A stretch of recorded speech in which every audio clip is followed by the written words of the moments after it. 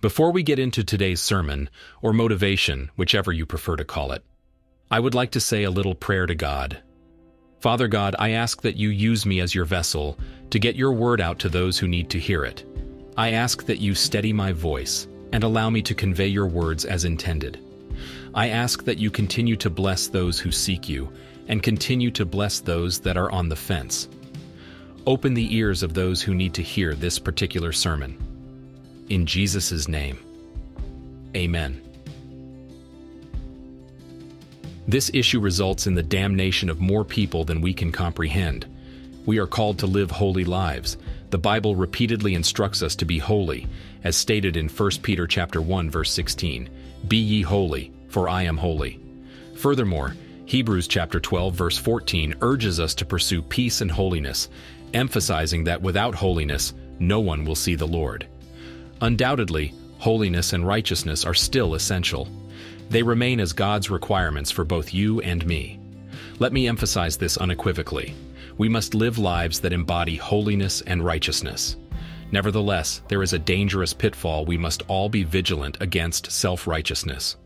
In my humble opinion, self-righteousness sends more Christians to hell than any other sin. The problem with self-righteousness lies in its nature as a distinct religion. It revolves around the worship of oneself, with man as the center. This was precisely the major issue with the Pharisees, who dedicated themselves to self and self-righteousness. Self-righteousness fixates on man's position in the world and his personal achievements. It is inherently self-centered.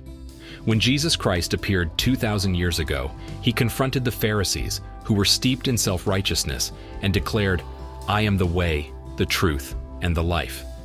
He revealed himself as the living bread, the water of life, and the light of the world. By doing so, he redirected their focus from their self-centered religion to himself. Salvation does not revolve around oneself, health, or a checklist of do's and don'ts. It centers on the person of Jesus Christ. Self-righteousness is highlighted in Romans chapter 10 verses 3 through 4. For they being ignorant of God's righteousness and going about to establish their own righteousness, have not submitted themselves unto the righteousness of God.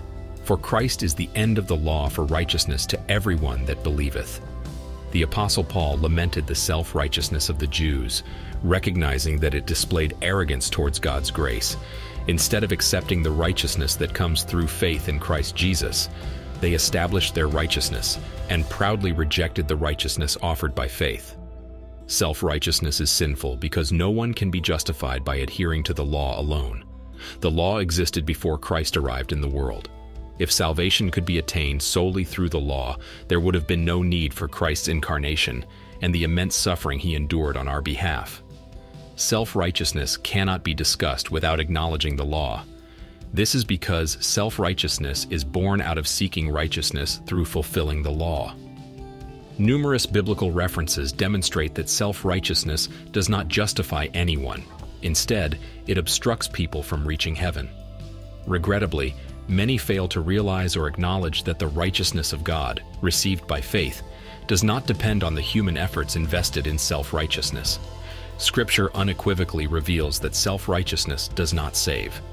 Rejecting the work of Christ in establishing righteousness is to belittle the gift of God.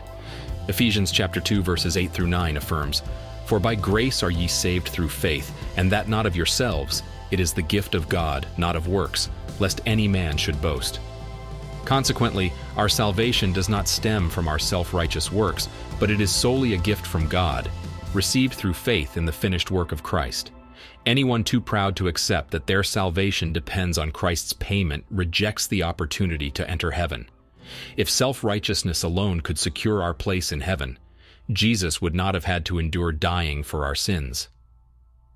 Jesus shared a parable about self-righteousness and its consequences, recounted in Luke chapter 18 verses 9 through 14, to some who were confident of their righteousness and looked down on everyone else, Jesus told this parable, Two men went up to the temple to pray, one a Pharisee, and the other a tax collector.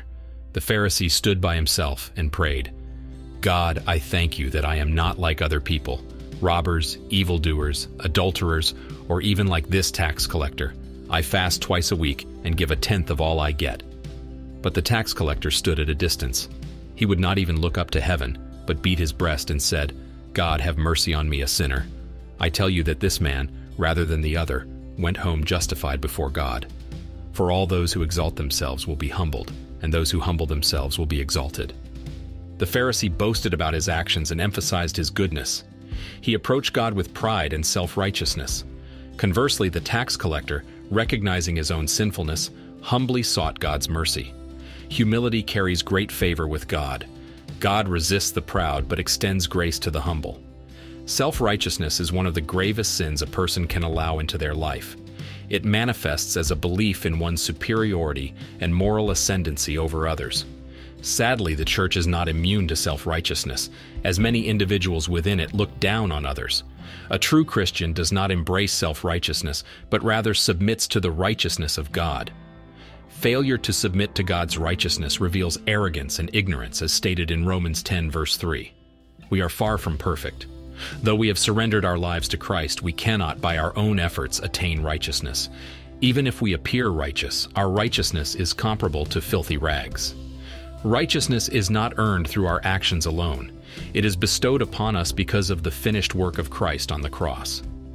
We cannot achieve salvation through self-righteousness. Instead, we need the righteousness of God. When we surrender to Christ, we submit ourselves to God and clothe ourselves in His righteousness. Through Christ, we become recipients of God's righteousness, as stated in 2 Corinthians chapter 5, verse 21. This demonstrates the immense love of God. He made his righteousness available to us, and through faith in Christ, we become recipients of his righteousness. Anyone attempting to be righteous through their own power rejects God and his love, committing a grave sin. Self-righteous individuals are often challenging to identify, as their sin operates subtly. Unlike those who exhibit obvious sins such as drunkenness or dishonesty, self-righteous people hide their sinfulness. You may unknowingly harbor self-righteousness. If you believe that praying or fasting more than others makes you holier, you exhibit self-righteousness. If you constantly focus on your own abilities as the source of your Christianity and its preservation, you display self-righteousness. Dismissing the preaching of pastors because you believe you know better and it doesn't apply to you is yet another manifestation of self-righteousness. Self-righteous individuals pass judgment and condemnation on others, utilizing their own lives as a measuring stick. Throughout my experiences, I have observed that self-righteous individuals condemn one sin while secretly engaging in worse transgressions. They even justify their own sins. In contrast, consider the humility of the Apostle Paul, 1 Timothy chapter 1 verse 15. This is a faithful saying and worthy of all acceptation, that Christ Jesus came into the world to save sinners, of whom I am chief. Paul's declaration of being the chief of sinners was not a display of false humility. He truly understood himself and acknowledged the extent of his past actions. He genuinely believed that his sins made him more accountable before God than others. Such a confession does not stem from self-righteousness.